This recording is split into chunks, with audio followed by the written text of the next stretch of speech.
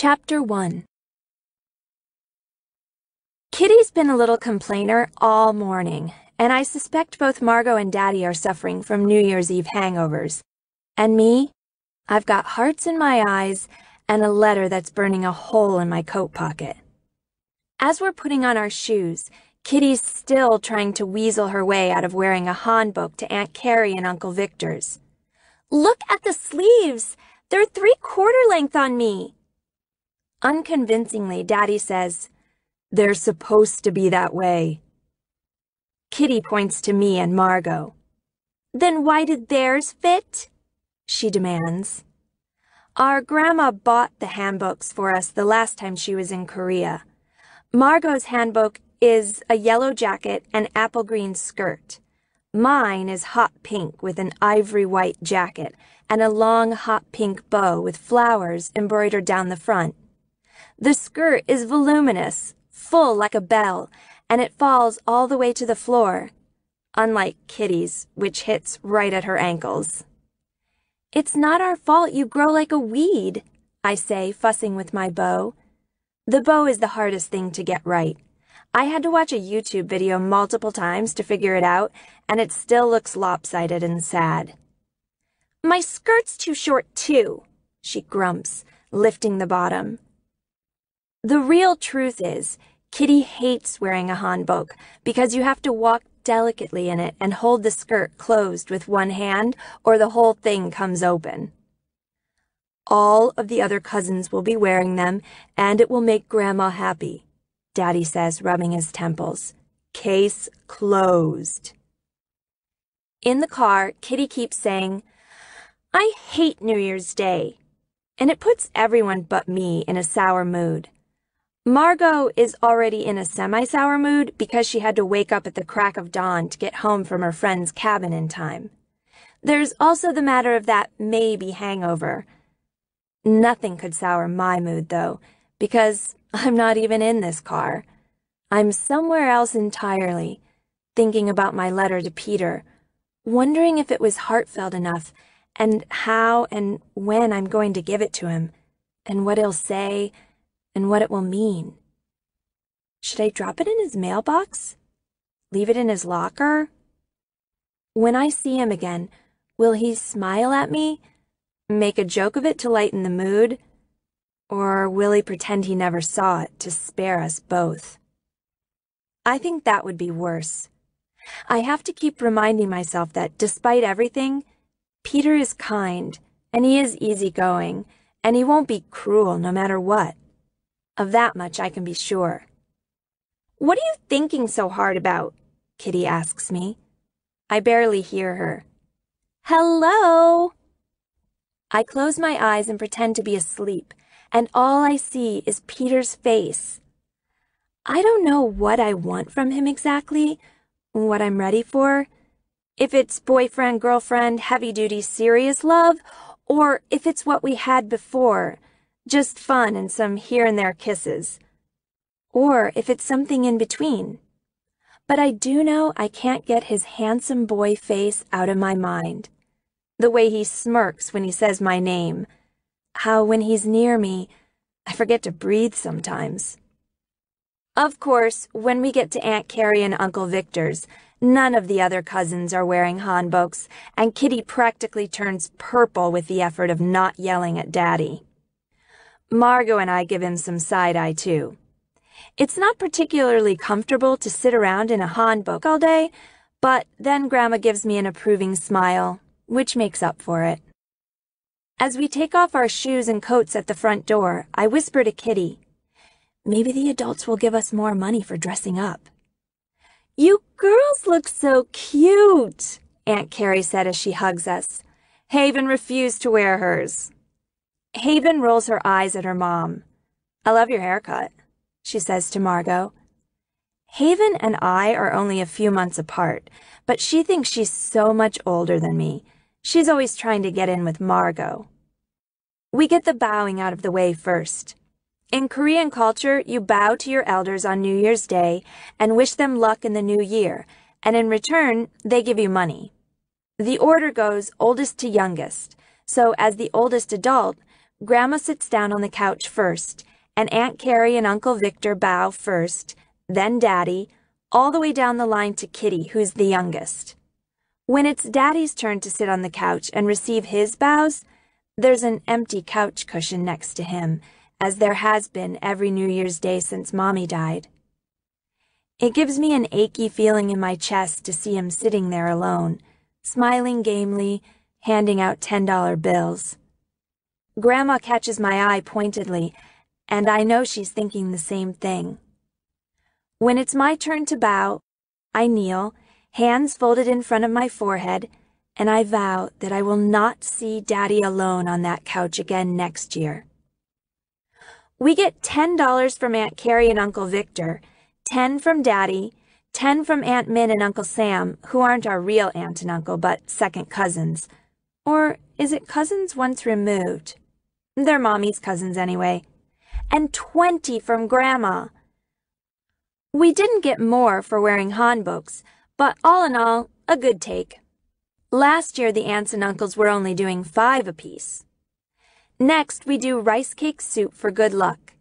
Aunt Carrie also made black-eyed pea cakes and insists we try at least one, though no one wants to. The twins, Harry and Leon, are third cousins? Cousins twice removed? refuse to eat the soup or the black-eyed pea cakes and are eating chicken nuggets in the TV room.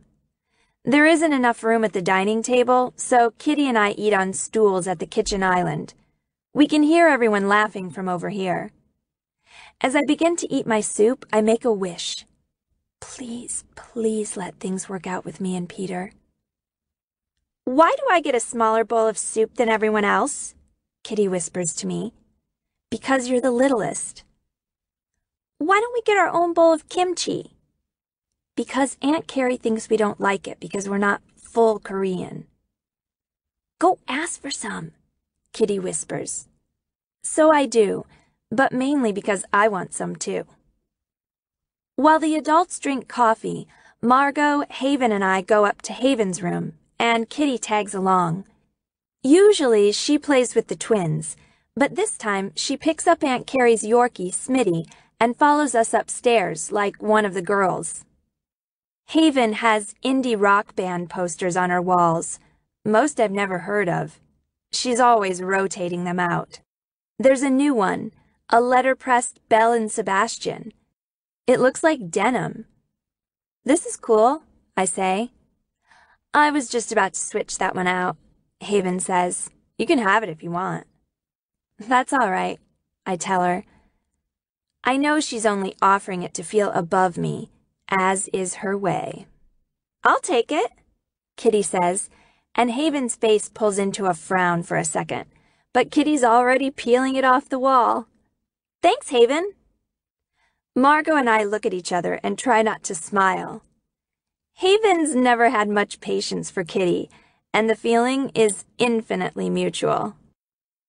Margot, have you been to any shows since you've been in Scotland? Haven asks. She plops down on her bed and opens up her laptop. Not really, Margot says. I've been so busy with classes. Margot's not much of a live music person anyway. She's looking at her phone. The skirt of her hanbok is fanned around her. She's the only one of us song girls still fully clothed. I've taken off my jacket, so I'm just in the slip and skirt. And Kitty's taken off both the jacket and the skirt and is just wearing an undershirt and bloomers. I sit down on the bed next to Haven so she can show me pictures from their vacation to Bermuda on Instagram. As she's scrolling through her feed, a picture from the ski trip pops up. Haven's in the Charlottesville Youth Orchestra, so she knows people from a lot of different schools, including mine. I can't help but sigh a little when I see it. A picture of a bunch of us on the bus the last morning. Peter has his arm around me. He's whispering something in my ear. I wish I remembered what. All surprised, Haven looks up and says, Oh, hey, that's you, Lara Jean. What's this from? The school ski trip. Is that your boyfriend? Haven asks me and I can tell she's impressed and trying not to show it. I wish I could say yes, but. Kitty scampers over to us and looks over our shoulders. Yes, and he's the hottest guy you've ever seen in your life, Haven. She says it like a challenge. Margot, who is scrolling on her phone, looks up and giggles. Well, that's not exactly true, I hedge. I mean, he's the hottest guy I've ever seen in my life, but I don't know what kind of people Haven goes to school with. No, Kitty's right. He's hot, Haven admits. Like, how did you get him? No offense. I just thought you were the non-dating type. I frown. The non-dating type? What kind of type is that? A little mushroom who sits at home in a semi-dark room growing moss? Lara Jean dates plenty, Margot says loyally. I blush. I date never.